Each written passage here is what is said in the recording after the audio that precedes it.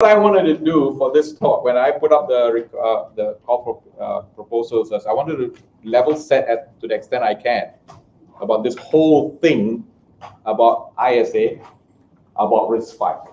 Okay, there was so much stuff floating around. There was a lot of confusion as to what on earth is that supposed to be and why do I care. The terms that were used was, oh, it's open source CPU. No. Oh, you can do whatever you want. Yes. However, what is it that you can actually do? Can you build the chip? Not necessarily because you don't have the capability. So what I wanted to do is to find a way to have a session. So my intention behind this talk is not directed at this audience, is for a future audience who may be watching online at some point in time, who are wondering what on earth is a CPU, and so on and so. So I, will be I'll be talking about stuff in here so that hopefully it's useful that my grandkids at some point in the future they understand how he talked about this. So there'll be grandfather jokes as well. okay. All right. So that's uh, that's the topic. So first part. Uh, first, I want to acknowledge uh, this gentleman. Uh, he passed away uh, last month. Okay, Gordon Moore. You know Gordon Moore, right? A lot of. Uh, he was 94 years old, and I think one of the things he said in 2008 was that all I was trying to do was to get that message across that by putting more and more stuff on a chip, we are going to make all electronics cheaper.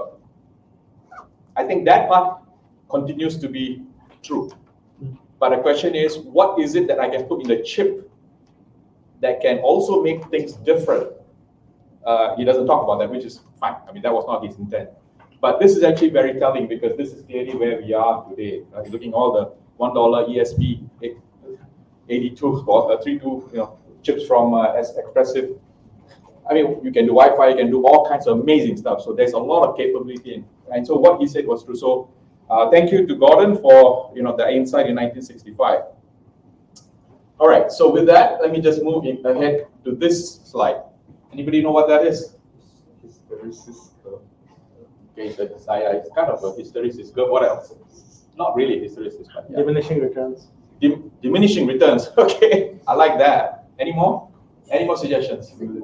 Six. Okay, that's somewhere. Yeah. Any anything else? If you are an economist, when you see this, you probably understand what that is. S curve, exactly. So it's an S curve. Smart guy. Um, so what is an S curve and why do I care? Because firstly, it looks like an S, so that's why I care. But more importantly, is this one. This is from Clayton Christensen's uh, book uh, in 2000, uh, whatever it was. Uh, forget which year it was. Anyway, he's talking about uh, S curve as defining how technology adoption happens over a long period of time. So I will then take that thought process and translate to where we are today from a chip perspective. So the bottom uh, dark, the one that says first technology, the first S curve, I would say are things like the mainframe computers, then subsequently, probably, and I would include the uh, chips from Intel, from the 6502 chip that was in the original Apple and, and 6800s, and all those guys at that lower level. So these were the early CPUs that started a trend in terms of all kinds of innovation that was happening. And it continues, it doesn't mean just because the first S ends at the top that it dies, not necessarily it can still be there today. It doesn't mean it expires. It may be less users uh, being uh, you know deployed to, but it is there. The second S curve, from my perspective, for the purpose of this talk, is the uh, ARM CPU. So when we were looking at Intel and AMD CPUs as the stuff that ran our computers, there was no way those devices that were ever going, I mean, those CPUs were ever going to be running a in a mobile phone. I mean, they did try. It's not that they didn't try. I know Intel did try, but somehow they just didn't get that. And in came ARM. And today, there are more ARM devices out there than there are Intel devices on a regular basis, which is phenomenal. It doesn't mean Intel is dead. Okay, it doesn't mean it's dead. So I'm now suggesting that the third technology is where RISC-V is going to come in. So it will be a combination of, in the larger ecosystem globally, there will be RISC-V CPUs in all kinds of places where ARM cannot possibly be. It may be there today, but they will be displaced. Intel is probably never going to show up. And AMD, whatever. And whoever else left. I, I'm not sure who else is left. But the important thing here is that that none of those previous technologies are necessarily going to disappear. They will kind of probably retreat or find a new life in a specific niche area where everything else will be covered and done by RISC-V. That's my prediction. Okay, you can hold me to it. You can come back here five years from now and see where we are. And it's recorded, so. All right. So by the end of this talk, I want you to understand what is a CPU. Okay, what are SOCs, and how one instruction set architecture is making waves. Okay, I'll try. I'll try and do this. I only got 20 minutes. I got a lot of slides. So part three. So what is a CPU? We all know what a CPU is, but for those people who are watching this from the future, okay, a CPU is just a piece of silicon somewhere. Uh, currently, it's still on silicon. That's not likely to be a biological CPU yet, but you know, for now, that's what it is. And it's got circuits in there that can be manipulated electrically to create some output. Whatever the output may you decide, whatever it is, right? And then uh, the ability is uh, to do to do so is by a software that manipulates the signals that goes through uh, and propagated through the CPU. And we always use the term that the CPU is the brain of the computer. I put it in quotes because yeah, maybe it's a brain, maybe it's not, maybe it's a shared brain. I don't know. But let's let's for ease of uh, you know uh, thinking through, let's consider that as the brain. That will work with the rest of the silicon on the board, motherboard, or wherever, or even on the same chip to do something, whatever the something may be. So historically, where have we where have we come from? Okay, the earliest ones. Anybody here have a any device at home that has got a vacuum tube? What you do? You do. Anybody else? No, yeah, actually. no I, mean, I, didn't say functioning. I said have a device with vacuum tube. functioning is the secondary question it's, it's a nice uh, you know piece to be put on the shelf, right? To say yes, that's that's fine. That, that, that's fine. I mean, it's an interesting thing. If nothing else, it generates heat if you turn it on. so it's a good heater in some sense, right? If we, well, not that we need heat, but you know, in case you know, think about it. Uh, all of those shrunk into a transistor, and then all of that transistors shrunk into a microcontroller. I, uh, not uh, uh, um, a, a silicon base on on a chip. Okay, so the transition was dramatic, and yet, okay, if you want to think of it differently, these are three different curves, three different S curves. They are still around. They are not disappearing, but they have narrowed and regressed into not regressed. They have picked a space that they work best in. So you find a lot of vacuum tubes in high-end audio stuff, and maybe some radar stuff. I don't, I don't know some some other things. So if you go to the military, I think that's where they they like these things. So there is a space for that. There's a space for that. So what do we have here? Computers are made of silicon chips. The early days, we have multiple. So in the early days of computers, I mean, even today, these devices, if you open it up, you see on a motherboard, there'll be one big chip perhaps, and then a few bunch of uh, other chips to do whatever else that needs to be done.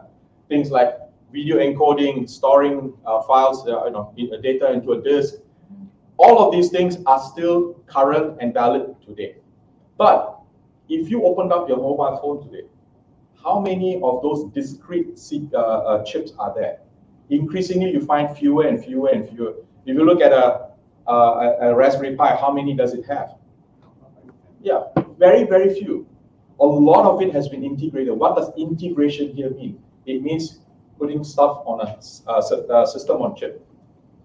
Okay, so that's so the work that needs to be done to interconnect all of this is now going into the uh, into one chip. So the question I have here is, can all of these discrete components be put into one? The answer obviously is yes. And this is an example of what a typical SoC looks like, a system on chip. So in this particular case, this is from uh, from where? From uh, Cypress. Okay, so it has got an ARM CPU here. They are embedding an ARM CPU.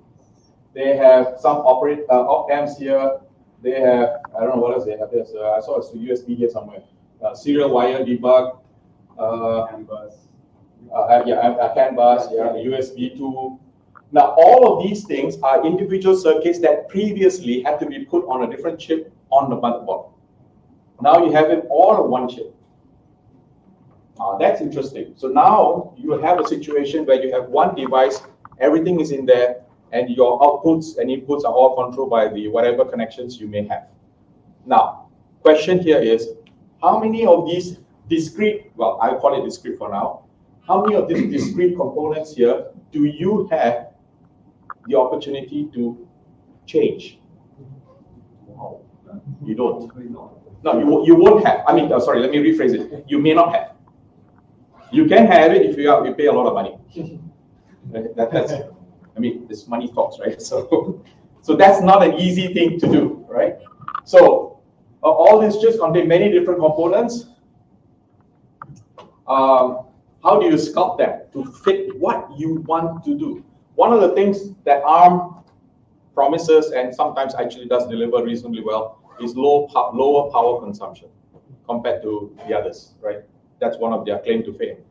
But can we make it better? Can you get to ARM or Intel or AMD and say, can we improve the power consumption? Well, maybe they maybe, but you know, it depends on who you are. If you're a, a state actor, perhaps I have no idea, but who knows, right? But can I do it myself? Not with those chipsets. It's not ever going to happen. Okay, so like I said there, you know, for example, if you want to trim some of those things that you saw on the SOC, you may, for example, and I, I, this one I'm speculating, I have no idea, I don't know the truth behind it. Like Apple's uh, M2 chips, right? They use ARM. Now, could they have trimmed some stuff within that? I have no idea. To make it uh, perform better in terms of a power consumption perspective, I have no idea. It's possible if they paid a lot of money. Fine, I don't know, right? So uh, could you do also the same thing with the other components on this? Yeah, maybe. Again, it's at, at a cost. But the challenge here is that you have no control about everything else. You are dependent on whoever it is that has done it for you.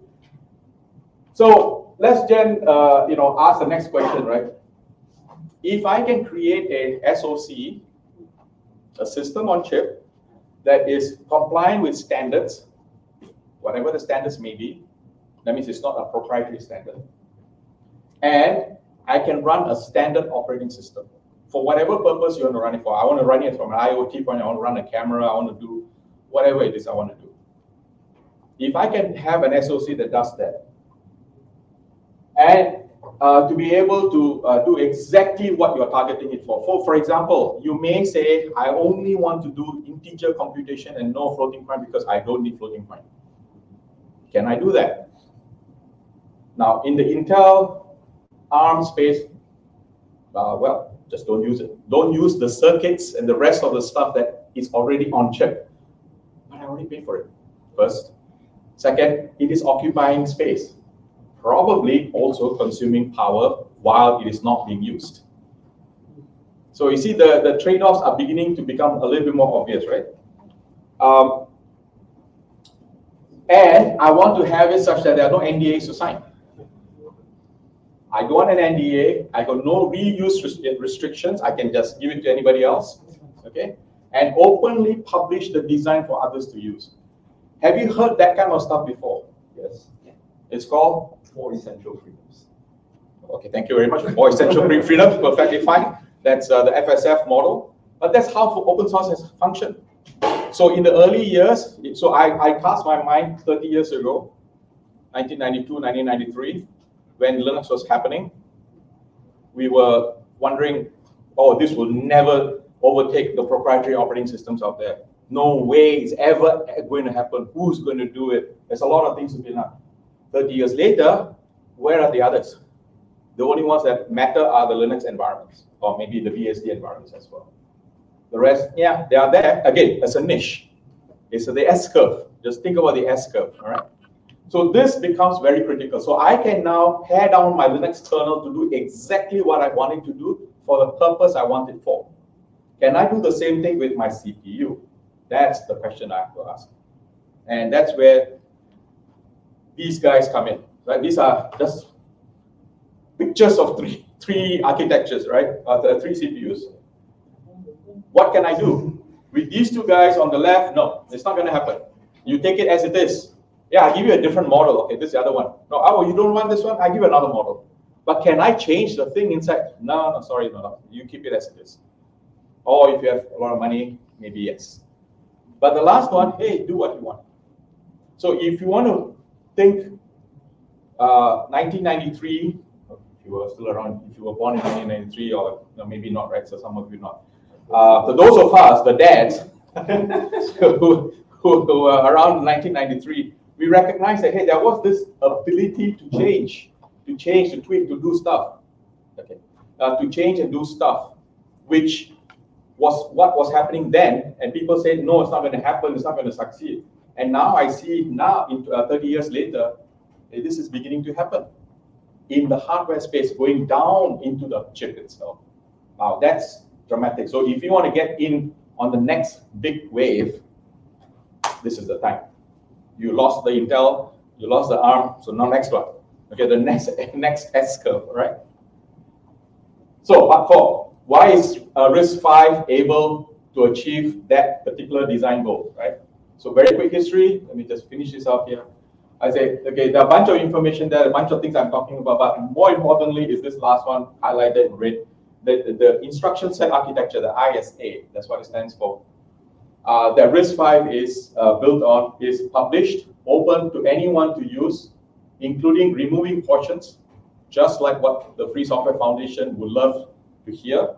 You can take out, add, do whatever, and share it as well without seeking permission. The only difference between the FSF model of the four freedoms and the RISC-V is that the RISC-V uh, ISA is in public domain. It belongs to every one of us. So that, that rule of the FSF rule doesn't quite apply. It's not on GPL. So you can technically take the stuff, close it up if you want. So if you want to say, hey, Harish, I'd like to create a company since you say this is the next wave, yes. Why don't you start a company that takes this stuff, makes a very, very good, reliable, verified circuit that implements the ISA and make it available, uh, sell it to people. You don't have to publish it. You're not obliged to publish it. You can keep it uh, private. So yes, it is not entirely open source in that perspective, but it starts from an open source project because it doesn't have the GPL license on it. It's a in public domain. It's good and it's bad. Okay. So um, I will skip some of these things because I, what I okay, the what I wanted to show here is the fact that RISC is not new. It has been around for a very long time. It was just not understood in the manner that it's available today. Um, and so we have uh, the people who created it, uh, David Patterson in, uh, in 1980 with the RISC one. That was the original one in, in, uh, in Berkeley. Uh, subsequent, a few other chipsets, you know, whatever, they did it. And then the challenge they were facing, these guys in Berkeley, was when you want to teach people chip level stuff, it's just like 1993 to teach you operating systems, where you're going to get the operating system code, Minix then Linux came out, right? So that's how you understand how to do the OS. From a chip, how do you do that? So that became an interesting idea to change that dynamic. And so they crafted this thing that eventually was called RISC-V. It is pronounced as 5, not RISC-V. Okay? So very clear, very important to. So therefore, the question obviously you ask, was there RISC 1, 2, 3, 4? Yes, there was. But those names were retrofitted to explain the V so that they have to say, we did all these four other designs before, so we're just labeling it like that, which is fine, right? Um, just one. Yeah. Um, I think uh, you missed the, the MIPS thing. Yeah, no, I, I do have the MIPS there somewhere. Ah, next MIPS. one. Okay. MIPS, yeah. So I, you know, there, there are many attempts at that idea, but the one that has so far seen more traction is RISC-V. Not the others, not that the others haven't, they have, but they're kind of at different stages. and some of them are just tanking and not going very far. All right, so part five, what is ISA? Very quickly, what is ISA? This picture I like because this explains exactly what, when you talk about the instruction set architecture. What is this? This is like the dashboard of your car, right? You have all the buttons and the steering wheel and all the good stuff. Every car has similar stuff. But what is inside the car? When you press a button, you turn the steering, what does that, that actually do? The doing part is that part. The engines, the whatever it is that you need to move. That is the microarchitecture, and that's what it's up to you to design. I'll tell you, I need to have a button to do this, another button to do that. I want to do an add, I want to do a multiplication, I need to do a subtraction, I need to store a value. Is what I'm telling you. Go figure out how to do it in circuit. So that's the circuit part. This is the, the marketing part. You can put it differently, right? Okay. Uh, so when you look at the number of instructions that you have in these three architectures, Intel has in excess of 1300. Uh, this uh, has uh, you know over 500 instructions in the ARM, and RISC-V, well, 47 plus a few more. It takes about six hours to read the document. Would you rather read a document in six hours or 182 hours? I would add one more line item, the list of publicly known bugs. Oh, okay. Well, that's being very unfair to these two guys. no, but that's a point taken. Yes, agreed. All right. So this is where it comes up to. So uh, in 2015, recognizing that the RISC-V as an idea was being adopted by a lot of universities and uh, uh, organizations, that Berkeley said, hey, we can't do this ourselves. This is an academic project. So they decided to uh, create an entity called RISC-V uh, Foundation in 2015. And uh, shortly after that, maybe a couple of years later, you know, issues around blocking people's access to stuff. I should not mention the, the person who wanted to do all those kind of things. They decided they're going to yank it out of the United States. It was established as a nonprofit in the US and moved it to Switzerland and renamed it as RISC-V International. So RISC-V International is the custodian of the standard for RISC-V ISA. And any further development is out of that group in Switzerland. And what they have also done is they have made available opportunities for all of us to be individual members of the RISC-V organization at no cost. What does that mean? It means you can go ahead and attend talks, events, participate in whatever it is. Not that if you're not a member, you cannot, but this gives you a little bit of a leg up uh, to be part of it, which is kind of nice, right? It's kind of nice to be able to do that. So this is interesting. They are uh, well, relatively well funded, although it's a non-profit. Uh, the memberships are also open to corporate entities and so on. So that's a, a, different pricing model for that. But the important thing here is they are the custodian of the ISA. So it's never ever going to be closed up. It's to, it's publicly available. It's in public domain anyway. But they will keep the uh, traction there. So as was shown in, uh, in a previous talk, uh, these are two pages, two A4 size pages, all right, back to back, of the entire instruction set. Uh, you can't see this because I'm going to look it up. It's called the uh, RISC-V reference card. It's back to back, right? That's it. That's very short. Well, there you go. Do you need a lot of the other things? In all honesty, I mean, I've, I've you know, years ago, I did look at the Intel stuff, and there are a lot of instructions. Do I ever want to use that? I don't need to use it.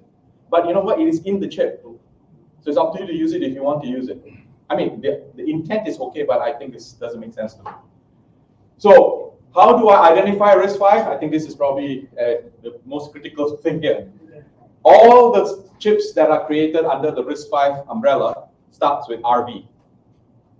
Okay, RISC-V. And then you specify whether it is a 32-bit, 64-bit, or 128-bit.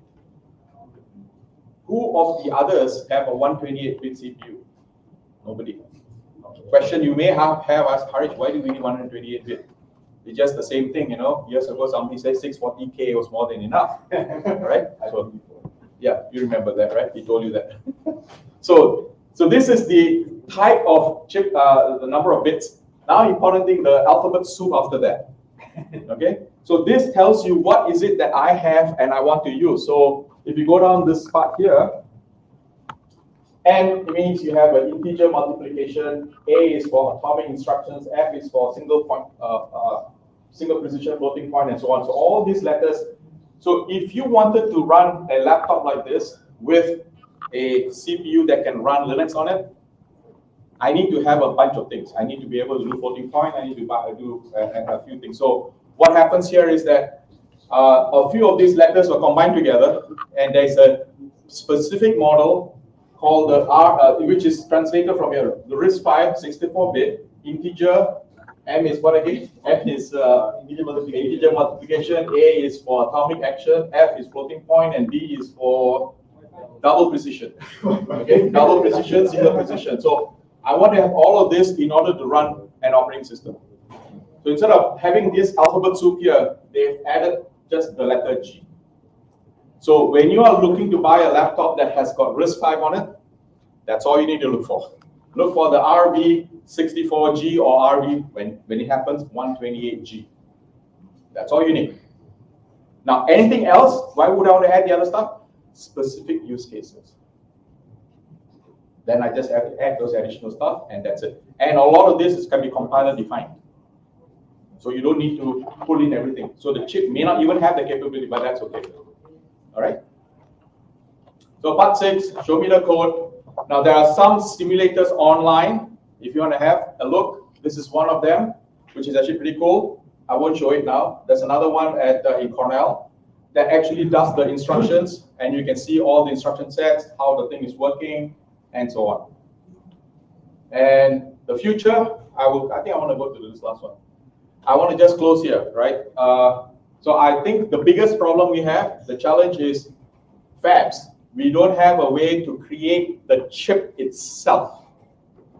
Uh, and I think somebody was showing a, a, a, somebody's homebrew chip, a fab system. It's not easy for us to do it. Uh, so that's the next stage of innovation we need to see uh, make happen as well. Okay, um, and I would say thank, uh, thank you to Google for trying and offering uh, ability to do fabrication of code, and I think somebody will be talking about it later as well. All right, so 128-bit before you know it. All right, others will be catching up, so that, that's fine. And that's it. So that's my.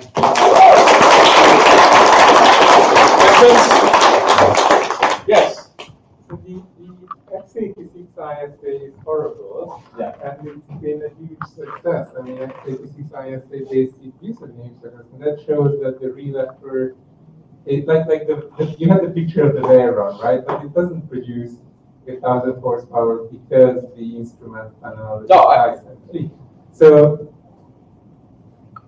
so, so, so, so what is the value in just having an ISA? Like, it, it, shouldn't the real value be, be in open source uh, implementations?